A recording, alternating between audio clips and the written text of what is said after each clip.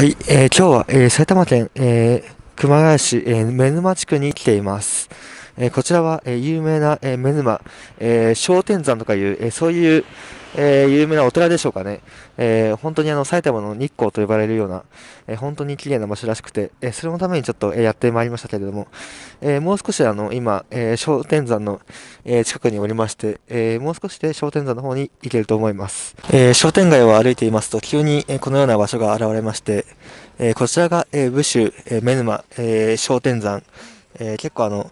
え、こういうふうに、え、地図を見てみますと結構大きな、え、場所だということがわかると思います。結構あの立派なんですよね。なんか今あの、えー、本殿の、え、方から、えー、多分般若心経みたいな、えー、そういう音調が、えー、聞こえてきますけれども、意外とあの、結構名所といいますか、埼玉でも、えー、結構いい場所なんじゃないですか。なんか、結構いい雰囲気ですよ、なんか。えー、門前の、えー、そして境内の横には、えー、このように、えうなぎ屋さんとか、えそういう、えお参りを、する人向けの、えお店も結構ありまして、えそしてこちらの、え門は、えなんか室町時代からあると、え書いてありますね、結構。すごいですよね、本当に。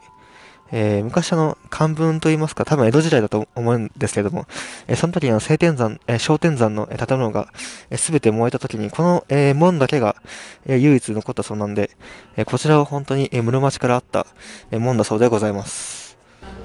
いや、なかなか本当に雰囲気がいいですよね、なんか。いや、本当に、えー、綺麗な場所でございます。えー、この、えー、メヌマという地は、えー、もともと、えー、熊谷市ではなく、えー、多分あの、メヌマ町とかそういう、えー、多分名前の、えー、町だったと思うんですけれども、えー、昔、えー、熊谷市に、えー、合併しまして、今はあの、熊谷市の一部となっておりますけれども、えー、もうほぼ、えー、利根川の、えー、南、えー、利根川を越えてしまえば、えー、群馬県太田市でございます。いや、本当にあの、えー、お経の声がよく聞こえてくるんですけど、これはもしかしたら CD 録音でしょうかね。なんかそれ、なんていうか、えー、異常によく聞こえると言いますか、なんかマイクを使っているような、そんな感じがしますね。えー、こちらの門も立派でございますけれども、えー、お経の、えー、お経でなんか、ナム、転生、変合、なんとかそんな感じのことを言ってるんで、えー、もしかしたら新言宗のお寺でしょうかね。そんな感じがいたします。えー、やはりあの、こちらの、えー、お寺は、えー、自称3年、えー、800数十年前、え、この地方の、えー、なんて言いますか、斎藤別当実盛という人が、本尊昇天様をその鎮守としてお祭りし、民衆の祈願所として改装されたそうでございます。やはりあのこちらは密教寺院でございまして、えー、まあそう空海とか、えそういうことですよね、多分、密教というのは。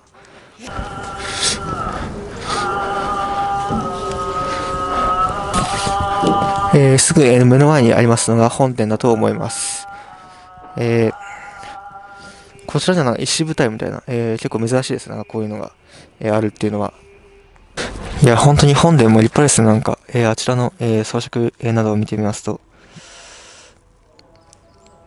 いや、これだけでも十分、えこの、えー、目沼商店山の、えー、目玉であります、えー、この、え埼玉県の日光と呼ばれるような、え彫刻は、えこの本殿の裏側にございまして、えその、え修復などに結構お金がかかるため、えー、1人、え700円を払って見ることになります。え一応あの、え700円を払わなくても、一応見ることは、え少し、えできますけれども、えどうでしょうね、えやっぱ中入って、え見た方が、えいいような、そんな気はいたしますけれども、結構こ、ここから見るだけでも、えー、本当に日光の、えー、東照宮のような、そんな感じがいたします。えー、まあ、やっぱあの、えー、せっかくなんで、えー、中に入りました。こちらが、えー、その、えー、商店、えー、目沼商店山の、えー、パンフレットでございますけども、700円払えばこちらをもらえます。えー、ちょっとあの、確認してみますと、なんかあの、こちらの、えー、目沼商店山の、えー、こちらの、えー、彫り物、えー、彫刻は、え日光東照宮で、え実際に、え仕事をしていた、えその、え堀師、え彫刻師たちが、え実際に携わったそうでございます。えー、700円は、えー、ちと、えー、高いような、えー、気はいたしますけど、まあ一応国宝で、えー、まあ一生に一度と、えー、考えれば、えー、まあ安いもんじゃないかと思います。日光東照宮も、えー、確か1回入るのに、えー、1500円ぐらい多分しますよね。えー、そういうことを考えると、まあこちらで、えー、結構、日光東照宮に行ったような気分が味わえるんで、それはそれで結構いいと思います。あの、ご覧の通り、えー、そしてあの、こちら、え外側の、え壁にあるんで、えー、結構長年、え風雨にさらされて、えなかなか、え汚れてしまったりとか、え破損が、えひどくて、え修復にも結構、えお金がかかる、えそんな感じでございます。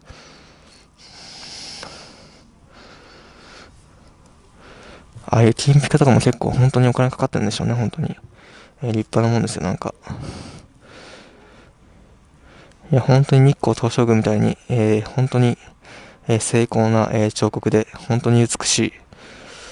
まあ、さすがに国宝なんで結構防犯カメラは結構多いですね。あちらにも、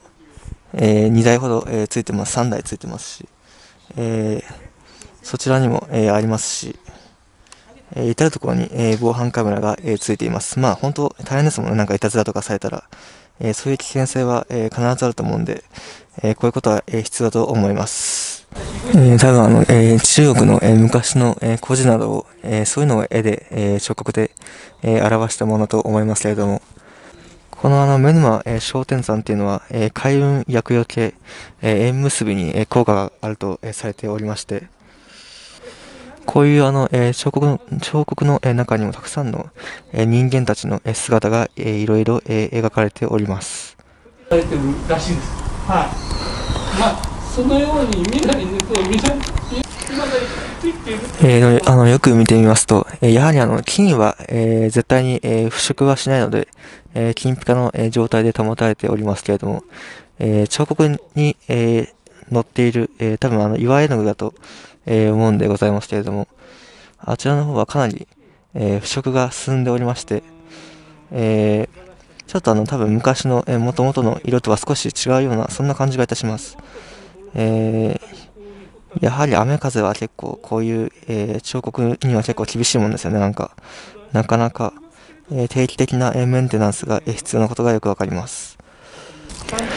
えー、あちらに、えー、猿の、えー、子供の、えー、彫り物もございます。なんか桃を、えー、持ってるような、そんな、えー、猿がいますね、なんか。結構なんか楽しそうな、えー、そんな感じの、えー、猿が、えー、4体、えー、もう1体おりまして、うん、結構ユニークな、えー、そんな彫刻ですね、こちらは。えー、他の、えー、有名な神社、えー、例えば、え、秩父の、えー、三峯神社、え、それに、え、長瀞の、えー、保土山神社などのように、え、有名な、えー、国際色、国際式の、え、神社の、え、彫刻は結構ありますけれども、こちらの、えー、沼商店山は意外と、え、色が落ち着いた色調でございまして、え、原色をあまり使わない、え、そういうような、工夫がなされているようでございます。まあ、これはあの、えー、好き、えー、人の、えー、好みでございますの色っていうのは、えー、原色の、えー、バチバチの色が好きな人と、えー、色を混ぜたような、えー、そういうような色が好きな人といろいろおりますんで、まあ、それは、えー、千差万別でございますけれども、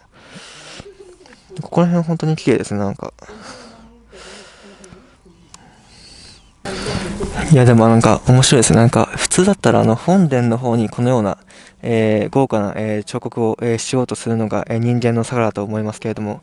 えわざとあの目立たないような、え本殿の裏側に、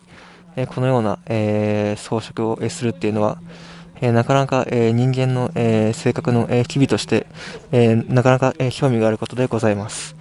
えあのちょっと今気づいたんですけども、あそこで、え囲碁をしている、えそんな人たちがいます。あれ囲碁ですよね。いやー、面白いです。なんかこういうの。まあ、囲碁は昔から、えー、中国から、えー、来たものだと思いますんで、えー、こういうのは、え確かにこういう彫刻彫刻の中に入っていてもおかしくはないのでございますけれども、なかなか不思議な、えそんな感じがいたします。えー、このあの、メヌマ、えー、商店山の、えー、こちらの本殿、え、ガイドの人の話を、えー、盗み聞き、え、しましたところ、え、最初の、え、創建当時、このような、え、形にしたときは、え、全く、え、江戸幕府から、え、お金を、え、もらわなかったそうでございまして、全部、え、庶民の、えー、錠剤で、え、行ったもので、そうでございました。え、そのため、あの、江戸幕府から、え、何かを、え、言われることは、え、なく、え、結構自由な、え、彫刻を、え、作ったそうでございます。まあ、でもやっぱこういう彫刻っていうのは結構離れて、えー、見た方がいいような、えー、そんな気もいたしますね。えー、こちらに、え昔の人の、え寄付をした人の方の名前と、えいくら、え寄付したかっていう、え石像が、え残っておりますけれども、え金100円ということなんで、え昔の100円っていうのは相当な額でございますから、えー、昔だと多分何十円とかで家が建ったと、えー、そんなような多分時代かもしれませんから、相当な額ですね。あの、こちらの方に残ってるってこと自体が、えー、多分相当な寄付をした人のものだったと思います。えー、この、えー、700円で入れる場所の、えー、範囲はかなり狭くて、えー、まあこんな感じなんですけども、まあこういう、えー、文化財を、まあ貴重なもんなんで、えー、まあ700円は致し方致し方ないという、え、感じはいたしますけれども、まあ一度、えー、来たらまあ、えー、ぜひ一度、えー、見てみもらいたい、えー、そんな場所でございます。えー、ちょうどあの、ここから、えー、見る、えー、目沼、えー、商店山本殿裏の、えー、彫刻が、彫刻が一番いいでしょうかね、なんか。えー、やはりあの遠目で、えー、そして今、えー、日の光が南の方向から、えー、当たってまして、えー、金が、えー、キラキラとしていて、とても美しいものでございます。えー、そしてあの少し休憩で、えー、こちらの、えー、和菓子、えー、こちら、えー、埼玉県熊谷市、えー、現在おります、えー、目沼市にあります、えー、清月堂という、えー、お菓子屋さんのお菓子でございます。結構美味しそうですね。なんか、えー、道の駅で、えー、買いました、買ったんですですけれども、まあ、135円ぐらいなんで、えー、少し、えー、甘いものを食べて、ちょっとあの、えー、休憩しようと思います。うん、なんかなんだか、えー、テカテカ、えー、していて、えー、本当に綺麗。えー、これを、えー、この M 沼、えー、商店山の、えーえー、門の近くで、えー、いただきます。うん、このお菓子結構いいですね。なんか、あの、この周りの、